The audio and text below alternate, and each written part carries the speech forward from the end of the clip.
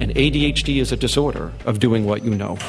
It is not a disorder of knowing what to do. And that is a very important thing I want families to understand as well. Your child, unless they were raised in a zoo or in a very impoverished area or were adopted out of some far fetched, war torn, undeveloped country, has all the information and knowledge that the other kids their age have. What they can't do is use it. It is the application of what you know that this disorder robs you of.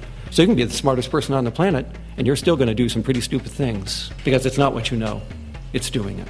Your brain can be split into two pieces. The back part is where you acquire knowledge, the front part is where you use it. The back part is knowledge, the front part is performance. ADHD, like a meat cleaver, just split your brain in half. So it doesn't matter what you know, you won't use it. You have what we call in psychology a performance disorder. Performance disorders have nothing to do with skill. You have all the skills other people your age possess, but you can't use